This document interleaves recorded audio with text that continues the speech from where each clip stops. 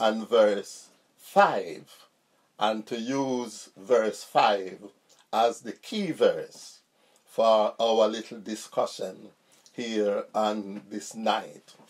Um, verse 5 is special because, in fact, in verse 5 we notice uh, a meeting on the mount. I will be talking a little bit more before we get deep into that. But in this meeting, we have invites, or we have guests from different departments that is not listed in many other scriptures.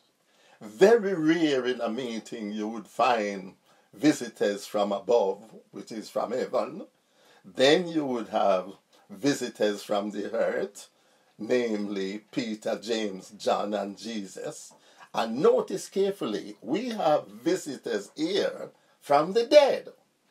That is why verse 5 uh, in our discussion means so much to me. Let me go back from uh, verse 1 of Matthew 17 and do what I would describe as a step by step process. And uh, it would say in, in verse 1 After six days. After six days, probably you could repeat that with me, even with a clapping of the hand Hallelujah. and give a shout to the Lord. Hallelujah. After six days. days. Now, Mm. what that does mean is that Jesus has been discussing with his disciples from the previous chapters, Mm-hmm. especially chapter 16. Jesus has been telling his disciples about some things for the future, especially what was going to happen to him. Jesus mm-hmm. told them that the chief priests, the rabbis, the people, the ministers was going to treat him disgracefully. Jesus told them that they are going to bring him to shame.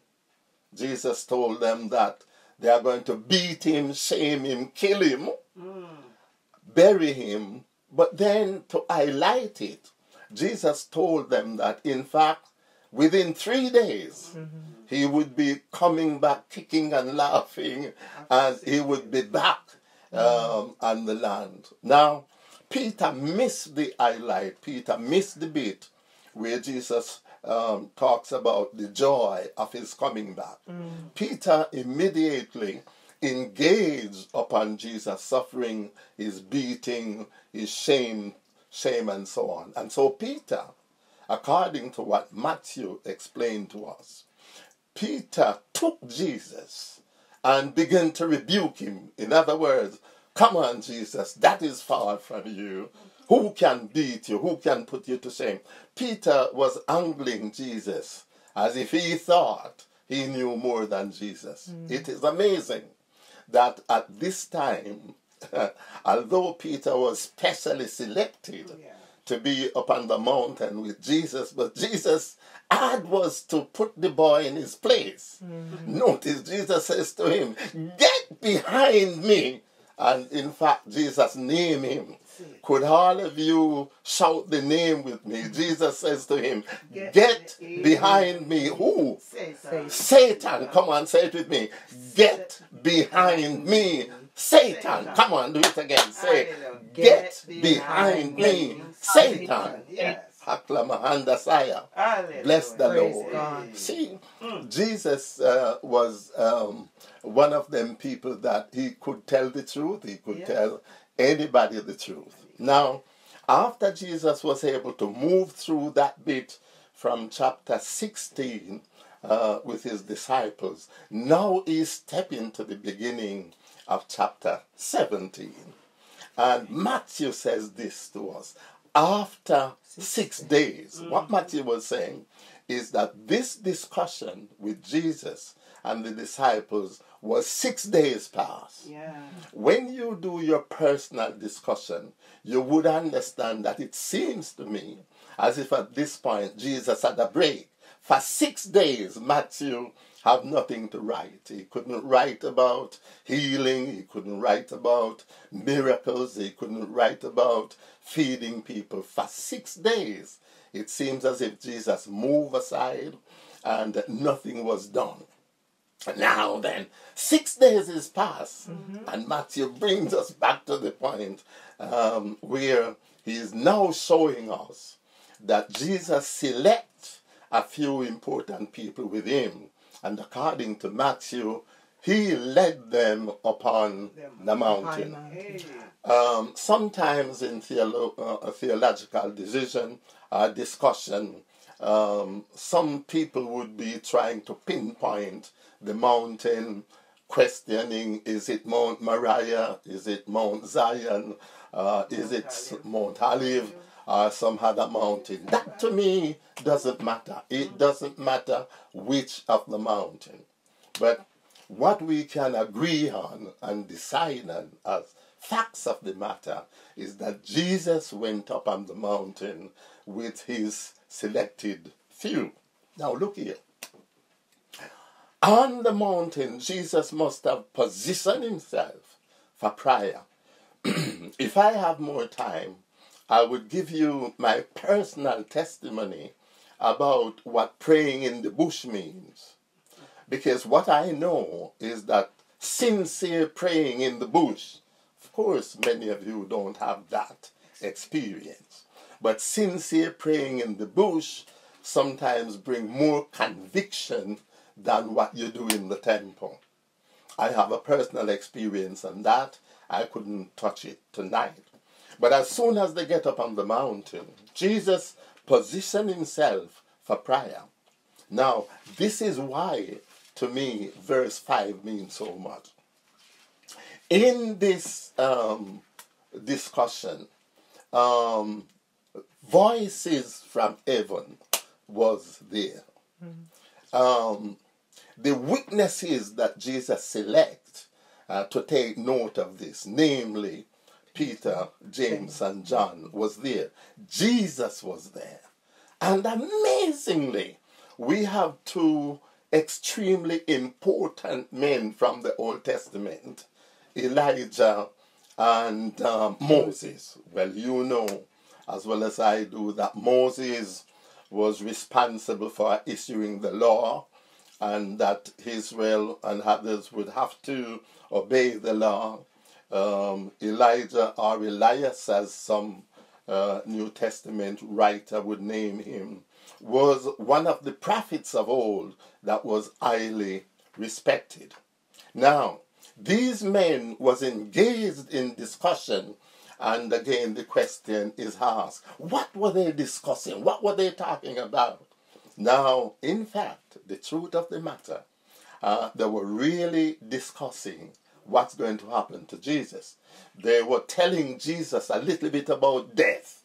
Now, you know as well as I do that the death of Eliza was so special until today is one of the persons that no one can find his grave or his tomb. Moses also, his death was so unique uh, that man was not allowed to bury Moses. God did that himself. Mm. What happens to these two men was that they know something about death. Mm. And so they were brought back by God just to talk to Jesus, uh, being on the human side, so as to prepare him for what was coming. While they were there in this discussion, something spectacular happened. There was a cloud. In fact, Matthew says this was a shining, a bright cloud. Now, you know, as well as I do, that in the New Testament, we would have sometimes dark clouds. I remember preaching a message once um, about what happens at the death of Jesus, and I talk about darkness at noon. But when the children of Israel were being led by God, there were days when He would provide dark clouds mm-hmm. to slow down the enemy behind His chosen. And there were days when He would provide light cloud mm-hmm. to provide greater light mm-hmm. for His travelers, guiding them across the Red Sea. On the mountain, um, something happens. Um, the face of Jesus Christ shone, um, in fact, probably brighter than the sun. He was lit. It, this was bright. The face of Jesus, the witnesses, God moved in such a special way that he didn't want Jesus to tell the story himself when it uh, get back to the point for human beings to hear about it. Jesus wanted witnesses. He wanted human beings to tell human beings. Mm. And so he have these three men there witnessing. When they saw the brightness mm. of Jesus, the shining light, um, in fact, uh, Peter was moved. And you know Peter, he jumped to conclusion. He didn't wait. In fact, at this point, I have uh, a personal testimony. I know why God had was to come in. Um, my testimony here is that uh, not long ago, I sat and the person moved beside me and borrowed a piece of my tool. I didn't see the tool, but the person did something with the tool and I heard the sound and I simply says, oh, that's my tool. And the person says, oh, wow, uh, you need to leave this for me in your will when you go.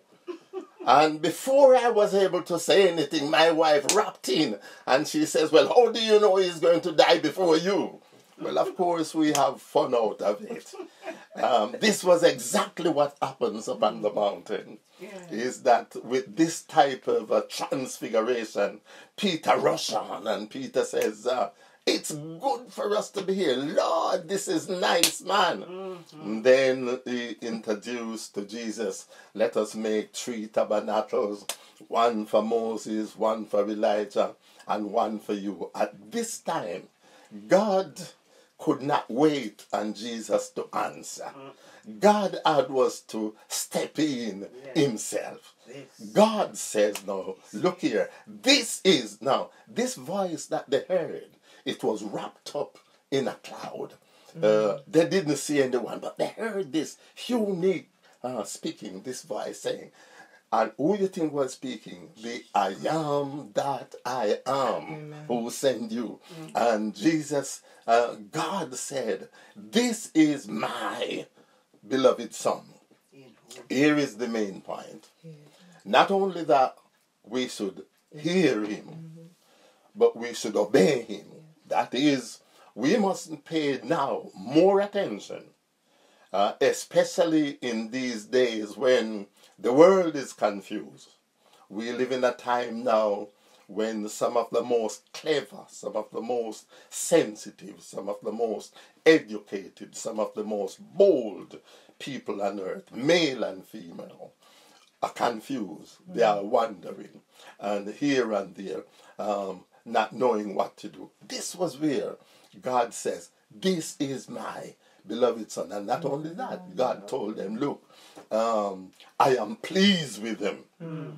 And because I am pleased with him, all you have to do to bring some happiness to yourself, to bring some joy to yourself, for you to be able to uh, monitor your way through this life and to go to bed and have settled peace, God would says, look, just hear him and obey him. Mm-hmm. Um, this uh, means so much. In fact, I would love for us to um, just take another verse of a song here.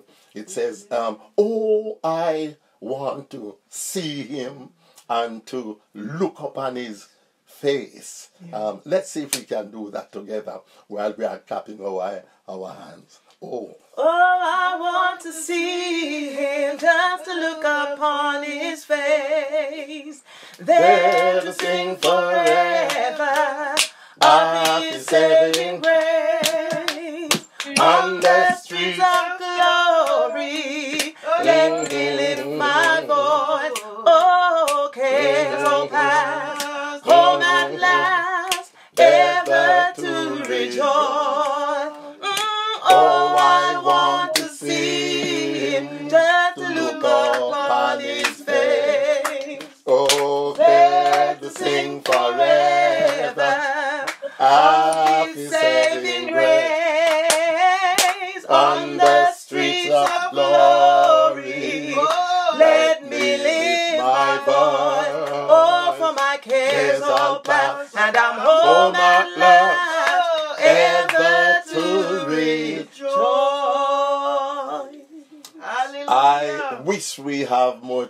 for what I call Bible discussion. I love to be in discussion where we can be just having people sharing.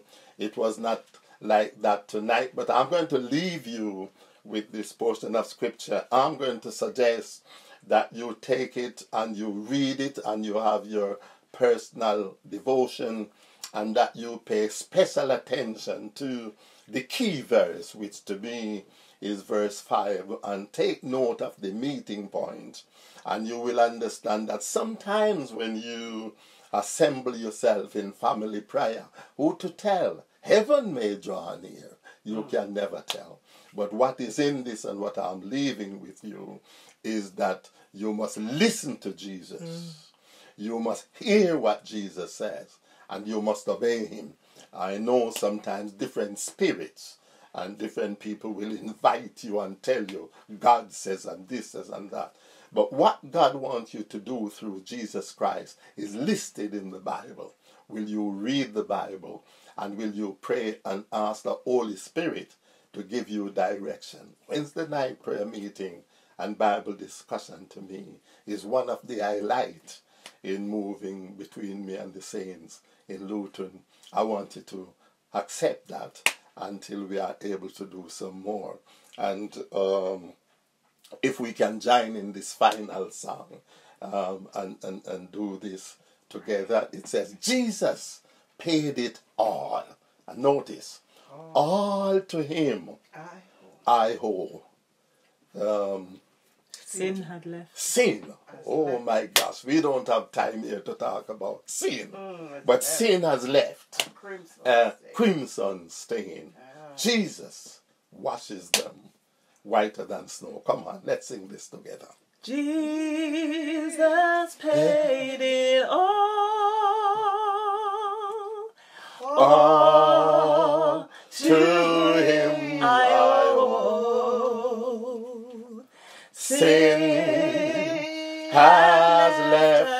Crimson stain.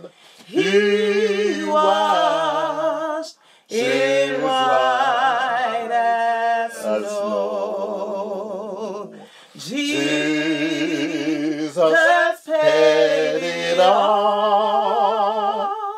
All to him I owe. Sin stain. He washed it white as snow. Hallelujah. Let us pray. Hallelujah. Uh, just position yourself at this moment for prayer. Most merciful God, Hallelujah. most compassionate God, Here we are. tonight. the Holy One, the Creator of the heaven and of the earth. Thank you hmm. for this portion of Scripture being revealed to us in a new way here and tonight. Righteous Father, I know you to be the God of gods. Yes, Lord. I know you to be the creator of everything that hmm. is in heaven, that is upon the earth, and that is in the waters below the earth. You are the God that is above gods. yes. I draw your attention into the trouble that mankind Is going through. is facing on this earth. yes, Lord. Righteous Father, nothing is new to you, but I'm asking for spiritual direction. Yes. Righteous Father, I am asking for divine covering uh, for your people, for them and to them that trust you, call upon you, wait upon you. I pray tonight for those who are passing through bereavement, here, there, and everywhere, in every part of the world. Yes, I pray for spiritual directions for government, Yes, for police officers, Yes, for medical Yes. uh, science, uh, for local authorities, for your church, people on the street. I pray for spiritual directions. Righteous Father, may your people enjoy peace of mind. Yes, Lord. May your people lay down and rest. You are the peace. You promise that uh, my peace Mm. I leave with you. Yes, Lord. My peace I give Give unto unto you. Not Not as the world giveth, give I unto you. May I say to you, my brothers and sisters, and all those of you that are listening, enjoy the peace of God. Mm. Let not your heart be troubled. Be not afraid. God bless you. Amen.